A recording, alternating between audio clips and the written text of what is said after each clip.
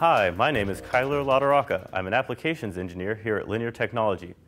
Today I want to talk to you about the newest part in our family of current sense amplifiers, the LT1999. When we started designing this part, we wanted to make a part that would excel in monitoring currents in motors, solenoids, and other inductive loads. Let's take a look at what we came up with. The LT1999 is a precision device offered in three gain options, 10, 20, and 50. The gain has a 0.5% accuracy, and the part has a worst-case input offset of 1.5 millivolts. The fixed gain options make designing the part simple and also increase performance in many applications. The LT1999 is a versatile part that can sense bidirectional currents, and with its wide input range of minus 5 volts to 80 volts, can be used in both high and low side current sensing applications. The wide input range is also important for applications with inductive loads, this is because transients that go above or below the supplies are common. The robust inputs are designed to survive up to a plus or minus 60 volt delta, allowing the part to survive open shunt faults and also enables the part to be used in fuse monitoring applications. One of the most impressive specifications is the 80 dB of CMRR at 100 kHz. This enables the part to reject the large common mode switching transients that are common in solenoid and electric motor applications. The part also has a 2 megahertz gain bandwidth that allows it to accurately monitor the switching current in high-frequency PWM applications.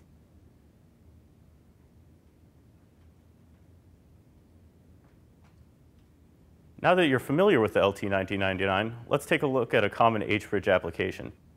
The H-bridge drives a 12-volt brushed DC motor. I want to monitor the motor current to determine both the motor output and the motor torque. Monitoring the motor current will also help to detect faults like a stuck rotor or a damaged drive FET.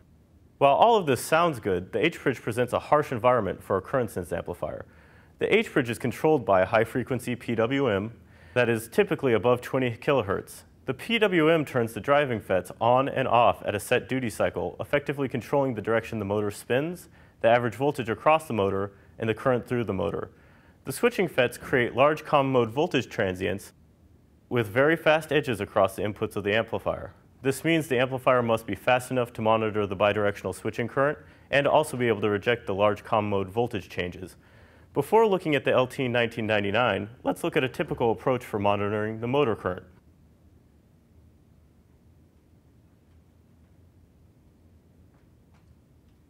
For many people, the first thought for this application might be to use an op-amp in a differential amplifier configuration, shown here. To monitor the bidirectional motor current and to stay within the op-amp's common mode input range, the input signal will need to be attenuated and the amplifier's input will need to be biased off ground. The amplifier used will also need a substantial gain bandwidth to provide adequate gain and to be able to monitor the switching currents in the H-bridge. The total gain of this system is set to 20 volts per volt and uses a 25 milliohm shunt. This translates to about 2 amps per volt on the output. The circuit will also use a window comparator to monitor for overfault conditions. The comparator will apply a brake signal that will short the motor inputs together if the motor current exceeds a plus or minus 4 amp limit. So how does this design work in reality?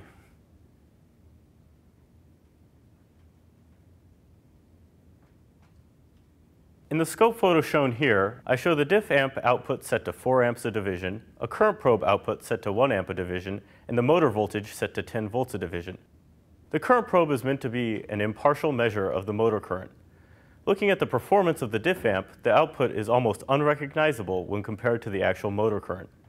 Every time the motor switches directions, there's a 24 volt common mode step that causes the amplifier's output to shoot to either rail. This spike produces a false alarm in the protection circuitry, causing the comparators to apply the motor brake, forcing the voltage across the motor to zero. The inability of the amplifier to reject this common mode voltage change is largely due to the mismatch in the resistor network. With these results seen here, there's really no useful information that can be recovered from the circuit. To improve circuit performance, either closely matched resistors or a substantial amount of trim must be used. Both approaches can greatly increase either design cost or complexity. Another approach might be to filter the output, but this will not work either. The output glitches will appear as DC error in the filtered output. At this point, we will have to redesign the input resistor network, or we could simply use an LT1999. So let's see if I can do better with the LT1999.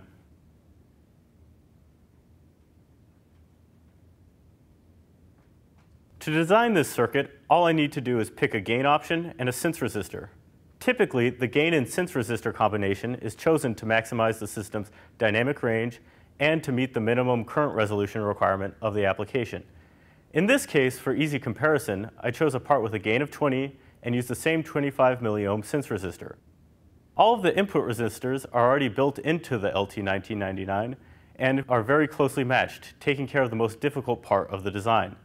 Since a gain and sense resistor have been chosen, the design is finished. The part is already set up to bias the output to mid-supply, allowing for bidirectional current measurement. The same comparator circuit will be used to protect the motor from overcurrent faults. With the design finished, let's look at the performance.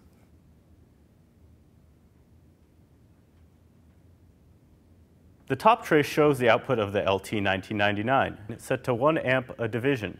The next trace is the output of the current probe, also set to 1 amp a division. And the bottom trace is again the voltage across the motor, set to 10 volts a division. The first impression is that the output of the LT1999 very accurately matches the output of the current probe, with no false alarms. The only discrepancies are the small glitches created by the large common mode transients. The glitches settle in roughly 2 microseconds, allowing for accurate current measurement, whether the output of the amplifier is filtered or not. Despite the large common mode transients, the LT1999 is able to accurately measure the current output. With all components trimmed, matched, and built into the package, the LT1999 is about as easy to use as it can be for accurate bidirectional current sensing in a harsh environment. For more information, please visit www.linear.com. Thank you for watching.